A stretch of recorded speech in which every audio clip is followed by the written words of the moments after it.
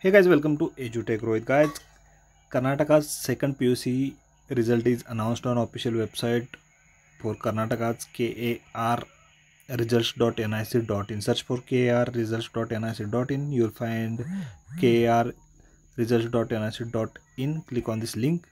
After that, you will find uh, Karnataka examination results. Here you can see supplementary exam 2 result announced on 12 9 23. So today it's announced officially and here you can see second PUC supplementary exam result 2023 to check your result enter your registration number and select your subject combination. For example if you have science then you can choose science and click on done and after that click on the submit button to get your results for second PUC so all the best guys